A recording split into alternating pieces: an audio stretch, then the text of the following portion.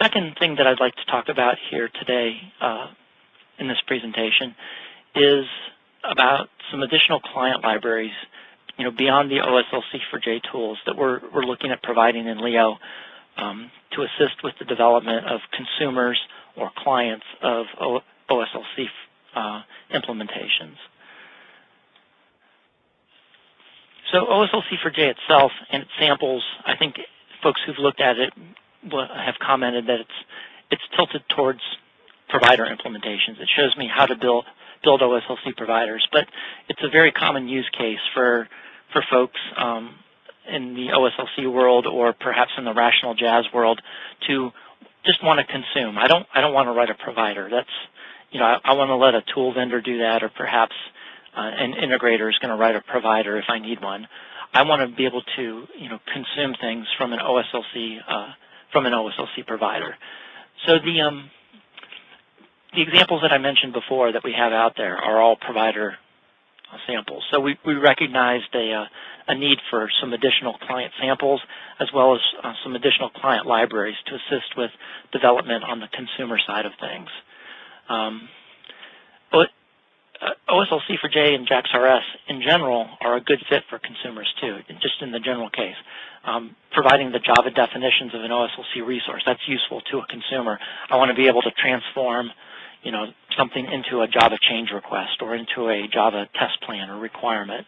So the, the ability in OSLC for J to serialize and deserialize from Java to uh, the wire format is still useful, still good fit for consumers, as well as the um, JAX-RS stuff.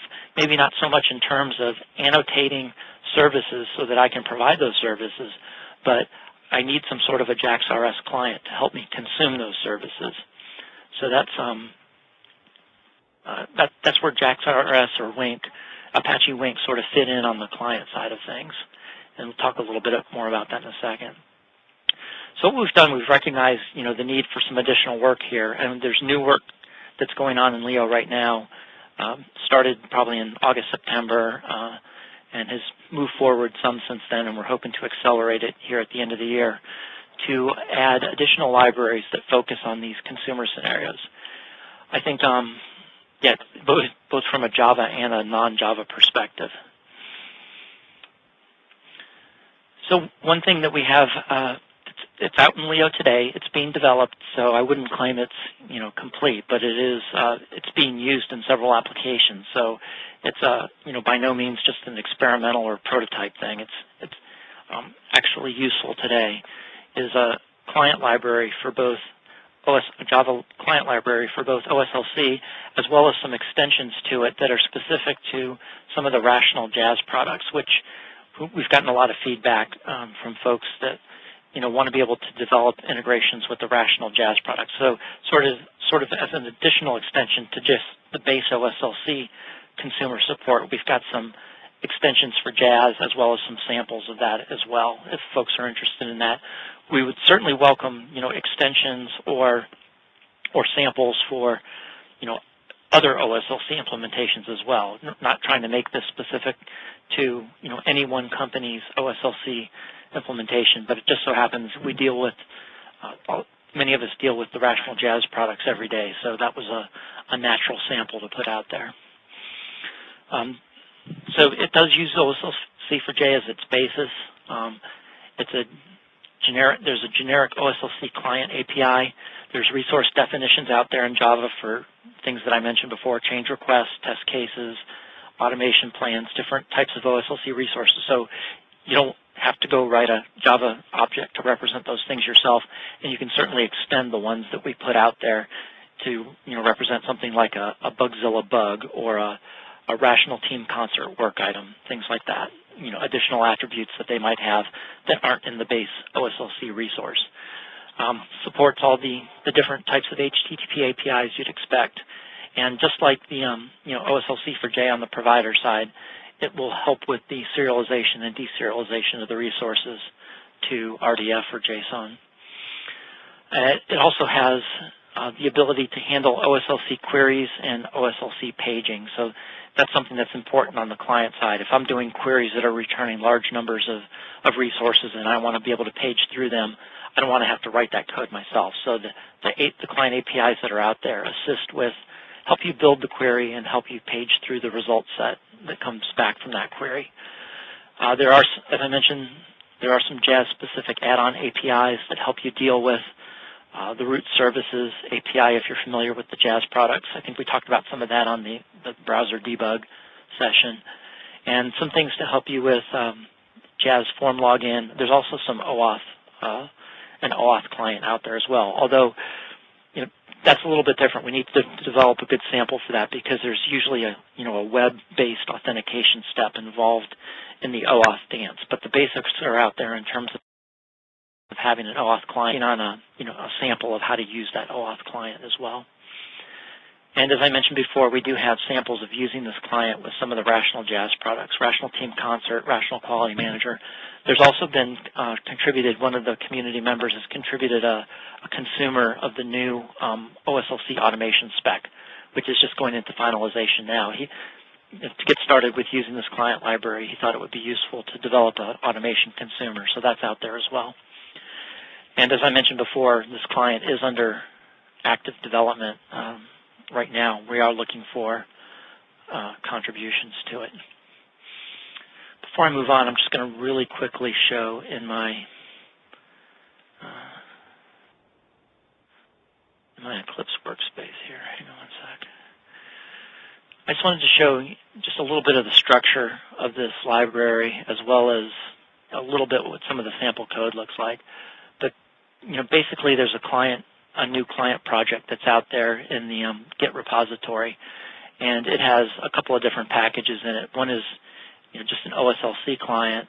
Another is a, some Jazz extensions, and the third one is some some OSLC common resources, the Java definitions for them. So you can see there's some for the QM spec, the test case, test plan, those types of things change request for the change management spec and also some automation ones. We're looking to add additional ones as well, requirements, requirement collections, things from other specifications. Uh, you can expect to see those added to this package as well. And just in terms of the, the client itself, you know, this isn't final. Um, as I mentioned, it's under development, but the structure is looking pretty good in terms of, you know, having having these a base OSLC client and then having perhaps additional extensions to it for, for other technologies. Uh, and then, sorry for the scrolling, but in terms of the samples, um, we have some, some pretty, pretty basic samples here uh, for change management and quality management, as well as a, um, a more uh, complex sample for the automation spec. What I have up here in the main part of my workspace is for the RTC sample, and it just shows, you know, the, the, the code's um, commented in such a way that it shows, you know, the exact steps that are being taken, and it has a couple scenarios in it. You know, basically going through the login procedure for logging into a Jazz server, RTC server, and then goes through some scenarios like running a query for the open change requests and paging through them, running queries for specific change requests, um, creating work items, and just basically just trying to, with the comments, talk you through some of the samples. So, you know, folks that are interested in creating uh, OSLC consumers, especially for, you know, perhaps something like Rational Team Concert or or another change management provider, uh, there's a generic sample as well that's not specific to Rational products. If you want to take a look at that, I would encourage you to do so. I think you'll find it uh, useful. I'll stop and breathe there. If anybody has questions, please go ahead and jump in.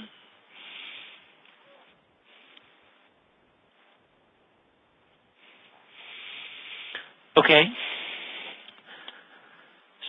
Uh, so beyond beyond just OSLC for J as it exists today and the, the client library that's being actively developed, there's two other libraries that we're hoping to get packaged up soon and make available by the end of the year. I mean, the code's out there. It's it's it's usable as it is. It's just that it needs to be built from source. We're working on you know, getting it packaged up into proper jar files with their dependencies and getting those released uh, a little bit later this year, uh, perhaps early next year. The first library is a, a query OSLC query library that it's really meant to help you with um, parsing and dealing with OSLC query syntax so that you don't have to go through and um, parse and tokenize and whatever OSLC queries as they come in. It takes care of that and basically builds a query tree that you can use.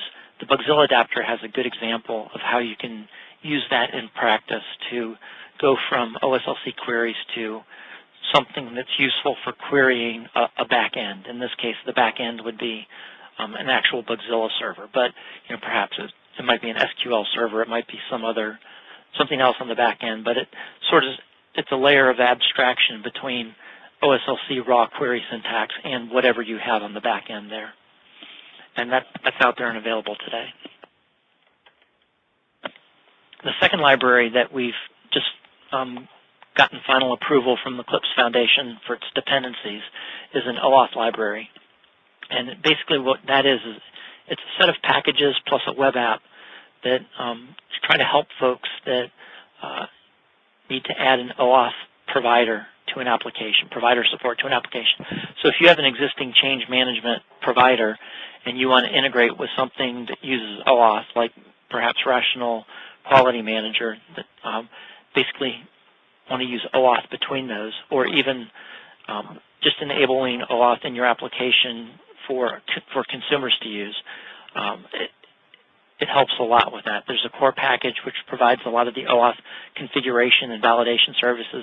Is this a valid key? Stuff like that. There's a consumer store package to help with persisting consumer and token information. Um, it can use a today it can use a Derby database or file system. It can also be extended. It's very uh, extensible if you want to use some other method to persist your uh, OAuth um, consumer and token information. And there's also a web application that it comes with that handles um, request access and token handling and gives a just a real basic UI to manage keys and key approval to go in and say, yes, I approve this key. Um, go ahead and give that um, issuer, you know, exchange their request token for a real access token. Uh, it, this is also used in the Bugzilla sample. So we, all, all of this stuff that I'm talking about today, we're trying to use it in that Bugzilla sample and really make it a, a good example of all these different aspects of the libraries that exist in Lyo today. Uh, the OAuth library does use the Google Code OAuth library. That's what just got approved by the Eclipse Foundation. So we should be good to package that one up uh, here very shortly and, and make it available. Uh, let's see. So in terms of non-Java libraries, uh, we do have there was a recent webcast earlier this month talking about a couple of Perl client libraries that were re recently contributed by um, uh, Max Volkin and Stephanie Ouillon.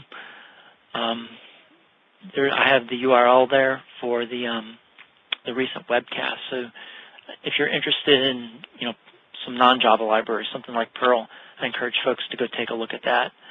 Uh, we're also looking at a potential contribution of a C-sharp and uh, basically a .NET um, SDK as well.